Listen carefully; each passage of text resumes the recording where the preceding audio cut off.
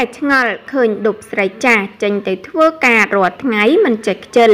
ពេលដឹងមូលហេតុពិតរំជួលចិត្ត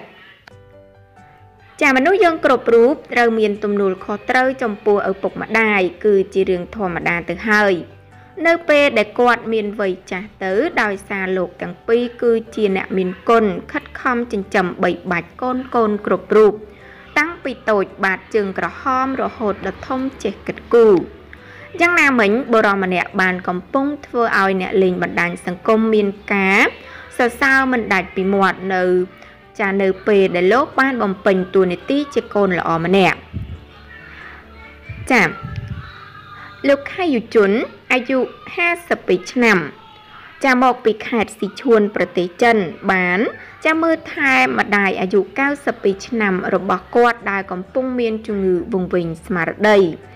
ស្ថានភាពរបស់គាត់កាន់តែអាក្រក់ទៅអាក្រក់ទៅ ហើយមិនមានសុវត្ថិភាពនោះទេបើសិនទុកគាត់ឲ្យនៅតែម្នាក់ឯងនោះចាស្ថានភាពរបស់គាត់តម្រូវឲ្យមានការប្រុងប្រយ័ត្នជាប្រចាំអ្វីដែលពិបាកនោះគឺលោកយុជនចានឹងភរិយារបស់លោក មានការងារច្រើនត្រូវធ្វើលោកខៃយុជននិងភរិយា ចាបានធ្វើការច្រើនម៉ោងទៅតាមខេត្តដើម្បីផ្គត់ផ្គង់គ្រួសារក៏ដូចជាសមាជិកគ្រួសារទាំងមូលចាគាត់បានសម្រេចចាគាត់បានសម្រេចចិត្តថារឿងដែលល្អបំផុតគឺនាំម្ដាយរបស់គាត់មកបំពេញការងារជាមួយតែម្ដង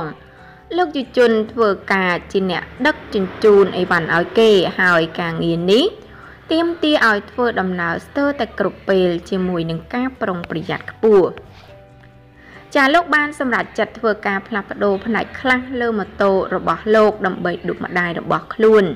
និងពង្រីកកៅអីខាងក្រោយ ចាដោយមានបន្ទះឈើលើពីនេះទៅទៀតលោកក៏បានបន្ថែមឈ្នន់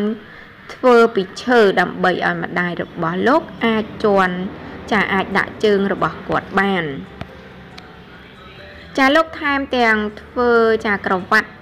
កៅអីខាងខាង ដើម្បីធានាសុវត្ថិភាពម្ដាយរបស់លោកយ៉ាងរឹងមាំនិងមិនឲ្យងាយដួលនោះទេ ចាយុជនយកម្ដាយរបស់គាត់ ទៅគ្រប់ទីកន្លែងដែលគាត់ទៅដល់លោកបាននិយាយថាលោកមិនដឹង ចាមិនដឹកទំនិញពេញមួយថ្ងៃទេហើយនៅពេលថ្ងៃបន្តិចលោកធ្វើដំណើរយឺតយឺតដើម្បីកំដរម្ដាយកំសាន្តនៅតាមដងផ្លូវ ចាគាត់បានបង្កើតមិត្តភាពយូរអង្វែងនៅតាមដងផ្លូវហើយលោកយុជន បាននិយាយថាវាជារឿងល្អបំផុត ដែលម្ដាយលោកទទួលបានខ្យល់អាកាសបរិសុទ្ធជំនួសឲ្យការបង្ខាំងឲ្យគាត់នៅតែផ្ទះកូនប្រុសកតញ្ញូម្នាក់នេះបានមើលថែម្ដាយរបស់គាត់ជាច្រើនឆ្នាំមកប៉ុន្តែលោកមិនដែលជួបប្រទះបញ្ហាអ្វីនេះទេ លោកបាន លោកបាននិយាយទាំងអារម្មណ៍រំភើបចិត្តថាម៉ែបានលះបង់ជីវិតរបស់ម៉ែទៅគ្រួសារដូច្នេះវាជារឿងធម្មតាទេដែលត្រូវទទួលខុសត្រូវ និងមើលថែគាត់ដរាបណាគាត់នៅ ចានៅតែនៅក្បែរទោះវាលំបាកយ៉ាងណាក៏ដោយចាប្រិមិត្តពុកម៉ែបងប្អូនជាទីមេត្រី ចាសម្រាប់អត្ថបទព័ត៌មានដែលនាងខ្ញុំបានជម្រាបជូនបងប្អូននៅពេលនេះ